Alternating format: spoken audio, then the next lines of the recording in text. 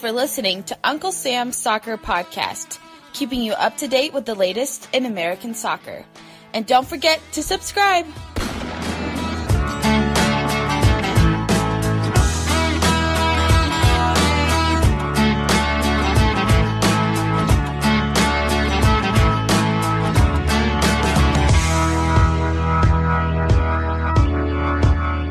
Everyone. Welcome to Uncle Sam's Soccer Podcast. My name is Steven Jodarand.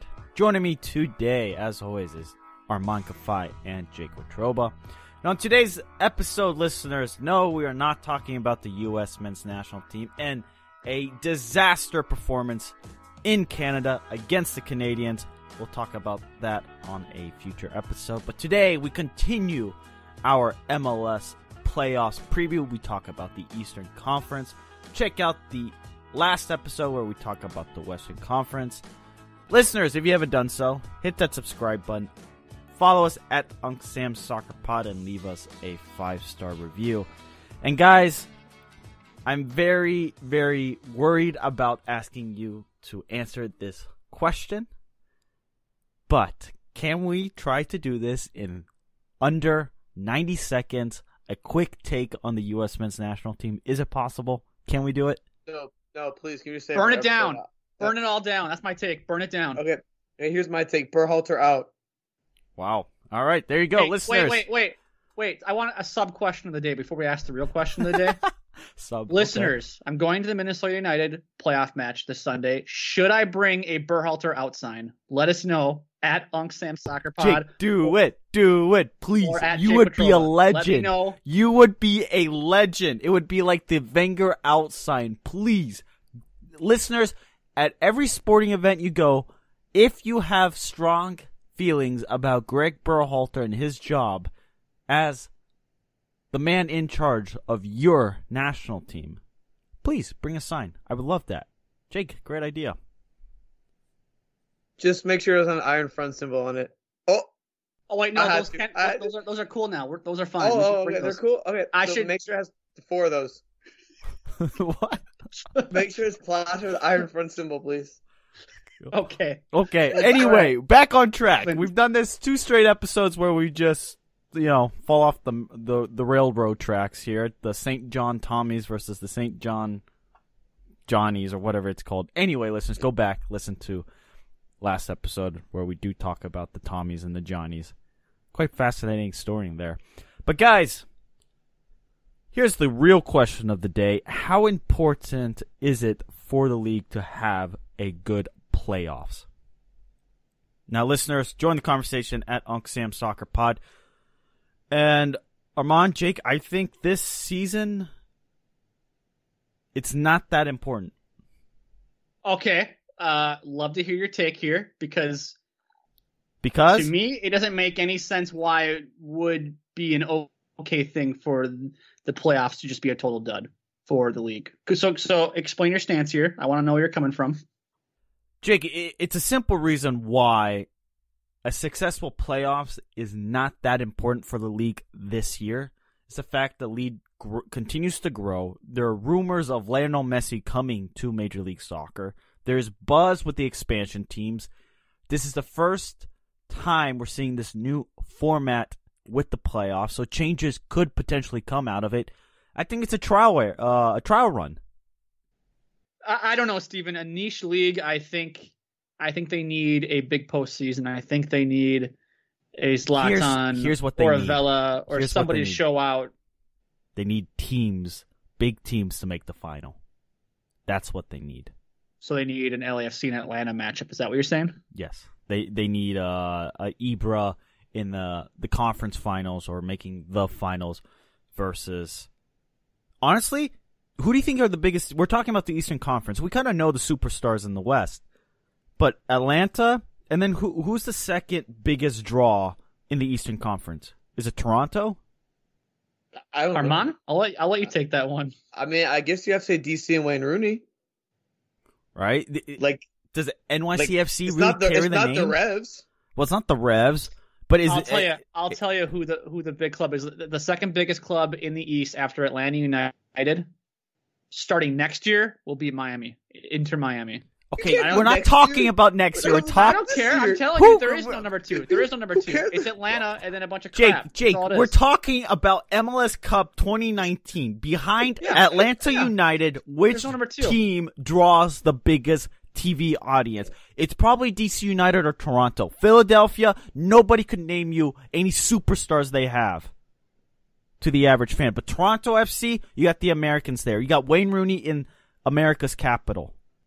Red Bulls, you're missing a, a superstar. Revs, you're missing superstar. NYCFC, good team. Yes, they're the, the one seed. But again, you're missing that massive superstar. No, I mean I think you're right. There is like a massive superstar missing. I just, I mean, you know what? I mean, I guess it has to be Rooney, but I'm kind of like forced to pick a number two, or else I'd kind of side with Jake and say there was no one. Yeah, well, Jake takes the It's a bunch of duds. It's a bunch of duds. After after uh, Atlanta, it's a bunch of duds. I guess you. I mean, it felt like it was Orlando City when they first broke on the scene with Kaku or Kaká, not Kaku. Sorry, uh, when they had Kaká, but yeah, it, it feels Well, like there's an empty void behind Atlanta. The moment Kaká signed with them, they were just Kaká. The Kaká City.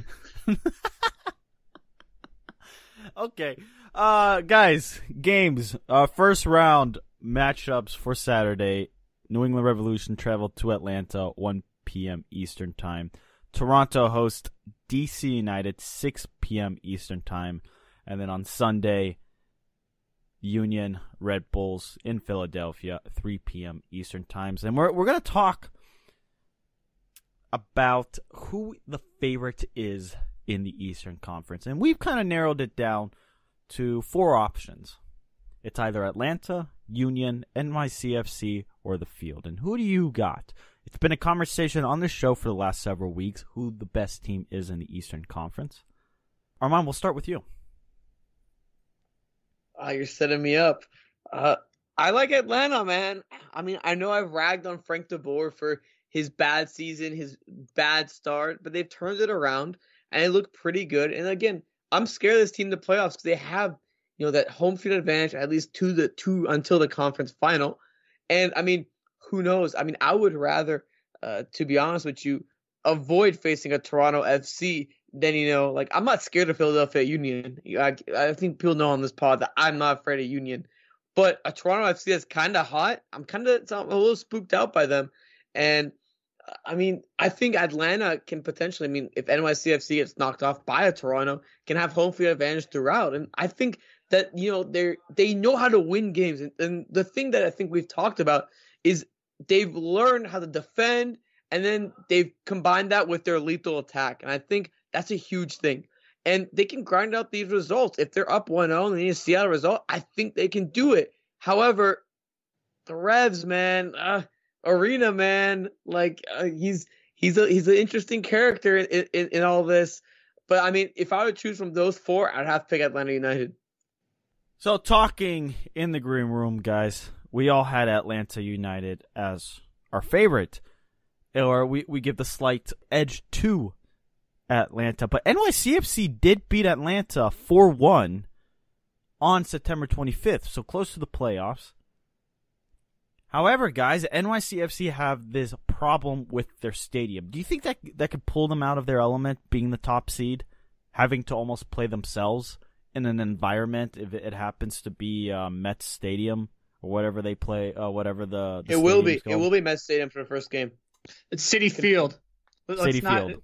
Met Stadium is a completely different stadium than Citi Field. Let's let's keep that. Uh, what is But Mets isn't a baseball field a baseball field?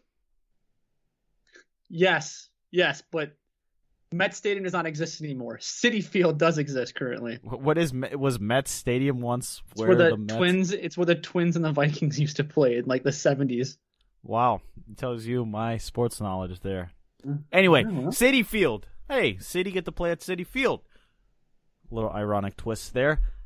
But guys, that has to be a massive advantage to the road team, or at least cancels out the home field advantage for NYCFC.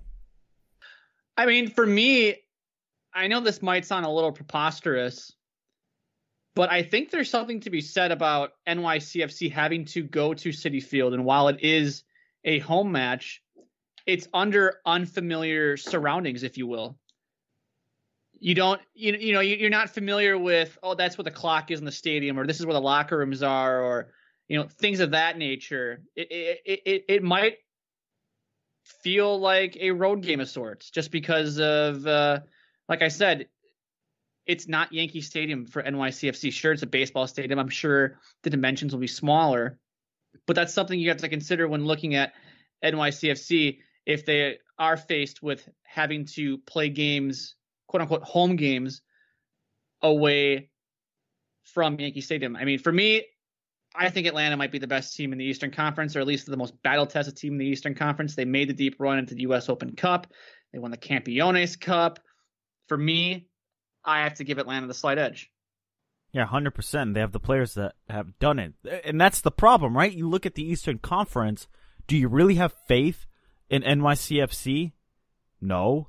What about the Philadelphia Union? It's the first time that they're in the playoffs in a mm, long time. So none of the, the top seeds in the Eastern Conference really give you confidence to do it in 90 minutes at home when there's an expectation for them to win. So you, you have a team like Toronto, it seems like they're almost playing with house money. No, you're right. It is. It, it's it's so interesting. And here's the thing: Toronto has actually played NYCFC really well, even at Yankee Stadium. So, look, I'm not, I'm not a huge fan of them moving stadiums. I think they'll be fine. Like, look, even the commute for these guys, like, it's gonna be a different commute to the games. It's it's a different atmosphere. It sucks to have to do it. I know I did it last year on decision day or whatever. But look, soccer is soccer. You know, dimensions are dimensions, and this definitely gives the second round team a, a little bit of is a little bit less of a home field advantage for NYCFC having to play at Citi Field rather than Yankee Stadium. Question with Atlanta, since we're giving them a slight edge, anybody worried about finding those spaces behind Atlanta's fullbacks? Because that seems to be quite a bit of a weakness for United. Jake, are you afraid? Uh, I I think I am a little bit. No, I, I don't know. I feel like Frank De Boer. I God, I feel like I've done a complete 180 on Frank De Boer because you would have asked like me I have question. to. Don't worry, if to. you had asked me something about Frank De Boer in June, I would have said this guy needs to go. And now I'm about to say, no, I trust Frank De Boer is going to put Atlanta United in the right position to to win a an important game in the playoffs. So for me, I'm not concerned. Like I said, they they they they've kind of gone through the gauntlet that was the U.S. Open Cup. They're winning one-off games to to advance and lift a trophy there. So for me, I think that Frank De Boer will will do what he can to help mask those problems. And, and one thing too about the Eastern Conference is outside of NYCFC, there's not very many teams that scare me in the East in terms of Really? Over over Toronto, like uh, uh, Toronto doesn't sit mean, there and go, "Uh, well, uh, uh, Toronto should only scare you if Jozy Altidore is healthy. If Jozy, if Jozy That's Altidore is not healthy, then you can write Toronto off. I think you can write. I mean, New England Revolution is their attack is basically get the ball to Gustavo Bou and hopefully he scores. and uh, Gil and, Carl, and Carles Gil, who Yeah. won New Come to Year today. yep. Or what- Hey, we're happy for him. Uh, we're happy for him, but you Red know, Bulls, Red Bulls are Red Bulls. They won't win a game, or I shouldn't say win a game. They won't win an important game. We know that. That at Union, they're still a little uh, green, A- and you know, for me, they, I think they pose a threat, but I don't think they're anything like you see in the Western Conference. They're not a you know Seattle Sounders or an LAFC or an LA Galaxy, even or even the Portland Timbers. And in, in DC United's kind of in free fall mode, or has been for the last two months. It feels like. So for me, it's it's I think NYCFC is the only team that could probably expose Atlanta. Oh. And I mean, Atlanta. Here, here's another thing with Atlanta is, I mean, Josef Martinez is, uh, I guess, 100 percent healthy, but it, it's always risky going to the playoffs just coming off an injury. So who knows what happens if he tweaks something, and then you got Miles Robinson, who's been fantastic all season long. He's also hurt. So injuries could catch up to some of these teams, especially you know when you have star players out Toronto, and Atlanta are, are two notables. And the thing with a Robinson is, man, he got hurt during international duty, so they might have to change up their defense and their scheme. Are they going to go with that three back line? Is Parkhurst going to get more burn? Parkhurst is a little less mobile than Miles Robinson.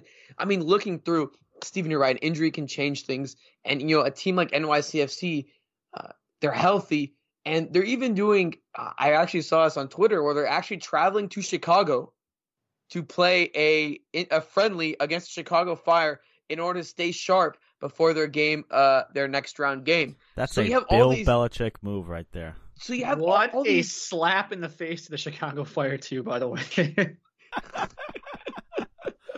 They're playing Uh, at SeatGeek Stadium too.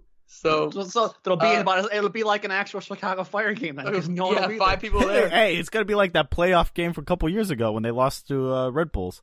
Chicago oh Fire hosting God, the that Red was Bulls. Disaster. But no, like, you're right. An injury can change the complexion. But I'm gonna have to agree with Jake. DC United does not scare me. Benny Ball is just not good enough. It might be able to get him a win, but I, like a team will expose that. I feel like you look at uh, you look at a team like Toronto. If Jozy Altidore's healthy, okay, then we're talking. Philadelphia. I mean, remember, I haven't been sold on them all year, and they do good with through Kacper Przybyłko. But and he's gonna play. But how, how healthy is he? Is he that healthy? Like we're we're not 100 percent sure. And like looking through the rest, the revs are the revs. If Arena gets some upset, whoop de doo, Steven will cry and joy. But I mean, outside of that, like you know, I don't expect them to do much. I mean, looking through that, you're right. Mm, The Red Bulls, they've looked like a shell of themselves recently with their press. I, I, th- I think you're right, Jake. I think we're looking at an uh, NYC Atlanta showdown unless Toronto can, you know, get uh, healthy and come at come at them. So there's no chance for Philadelphia. Are we completely writing them off? I mean, they should they should beat Red Bulls, but do you Yeah, think really fair. think Philly's going to march into Atlanta and and beat Atlanta, No, assuming the- assuming the, the- Revolution right. beat Atlanta? But Right, right. But the problem with the Philadelphia Union, sure, they had a successful season, but Red Bulls last year had the most points in the regular season in MLS history, and they they just fail in the playoffs. So it, it, there is this notion that you can have regular season success, but that doesn't always translate into playoffs for whatever reason. There, there's something different about MLS playoffs that some teams have and other teams don't. Red Bulls is one of those that just don't right? FC Dallas is another team that just don't have it in the playoffs for some reason. When when the lights get really bright, they tend to crap themselves. Question is where where does Philadelphia lie on that? Do they not crap themselves or do they crap themselves? I mean, you have to argue Philadelphia is the most interesting teams, right? Because they beat Atlanta, although it was uh, at home, and they they beat NYCFC if I remember correctly, right? Like these are all quality wins, and well, they also and they also drew LAFC. Like they had the results again, all these at home, but it's just like I'm not hundred percent sold, you know, on this on on this team, you know winning. I, I don't know what it is. I really I'm trying to I'm trying to figure out in my head because they've shown it, but it just to me it just doesn't seem like that they have the like, the right. Like, Arman, I don't know what it is, man. since Philadelphia drew LAFC 1-1 and we all thought that was a good result, right? They Yeah. have they've the four following games, three losses and one win versus San Jose. Two of those three losses against Eastern Conference playoff teams. Well, it's better to get it out of the way at, then, right? Than in, in in October. Well, that's one way to spin it. No, I just think Philadelphia, outside of Kacper Przybyłko, where's the goal scoring going to come from for this team? I I mean, they- guess the guy they- like Sergio Santos. I'm not sure. he's a sub. You're going to rely on a, a super sub to provide or, the goal or, scoring or for God, you? or God Ilsinho. or else exactly you just named two super subs. So I mean, if that's if that's your if that's your magic bullet there, if you're Philadelphia Union, you're gonna sub a guy on or two guys on in the 60th or 70th minutes and say, okay, go go get me a couple of goals here at the end of the game. Let's go, Chief. I mean, I- I don't know. Philadelphia, I, I think I think they have a formula there to be successful for the long term, but I just don't think there's enough high end talent to win any uh, meaningful games late in the season and in the playoffs. Yeah, we'll see. Listeners, join us. Join the conversation at Unc Sam Soccer Pod. Give us your thoughts on Greg Berhalter, the Western Conference from last episode, or the Eastern Conference. Are we wrong? Are we right? We shall see. Guys, let's do some predictions because why not? It's the last minute of the show. It's always fun to come back to these when we have to write our apology letters. Simple, guys. Who makes it out of the Western Conference? Who makes it out of the Eastern Conference? Jake, you got first dibs. Western Conference, I believe last episode I had said LAFC was going to win the Western Conference in the East. I'm going to give it to Atlanta United. So I think we will have MLS's wet dream, which is LAFC, Atlanta United in the MLS Cup playoff. And do you want my MLS Cup winner? Why not? Atlanta United go back to back. And they Oh, hoist, oh, hoist oh. the MLS Cup Wow. at Arman, Bank of California Stadium. Arman, So do I have agree? the Revs and FC Dallas going to the MLS Cup, and and FC Dallas. No, no, I'm kidding. I'm kidding. That that'd be the only way FC Dallas could host MLS Cup. By the that way, that would be great. I'd fly down to Dallas for that. sweet. I'd be here. Um, no, look. I mean, we've talked about it on the show a lot. I don't see anyone competing with LAFC in the West, especially at home. I have LAFC. Uh, you know, beating the Galaxy in the second round and then beating uh, good old RSL. I think that, that, that that'll be my take. Uh, in the western uh, in the Western Conference, in the East, the East is tough because I do sense an NYCFC Atlanta final. And you know what? I'm gonna go against what I said earlier. I think NYCFC knocks off Atlanta, and LAFC clinches the the MLS Cup in uh, LA over NYCFC three one. Wait, wait, wait, wait. Who's your winner? LAFC. Oh, yeah. LAFC's winning the cup. They'll be playing. Uh, yeah, Atlanta in the final. I think we're we're actually gonna get the two top seeds. Uh, the it just seems to be trending that way. Just this the way the season has played out. So, listeners, you know the drill. At Unc Sam Soccer Pod, send in your predictions before the playoffs start. Be fun to know. Hit us up at Armanka5. He wants some awesome FC Dallas coverage. At Jake Watroba for all the negative takes in sports and just pure sadness when it comes to Berhalter out signs. Should I do it? Berhalter yes, out. Yes, yes. Let me know. Follows yours truly at Steven Jodderand. We'll be back next week. We'll be talking playoffs. U.S. men's national team. We'll get some audio of Greg Berhalter in the press conference. He said plenty. He said lots. Until next time.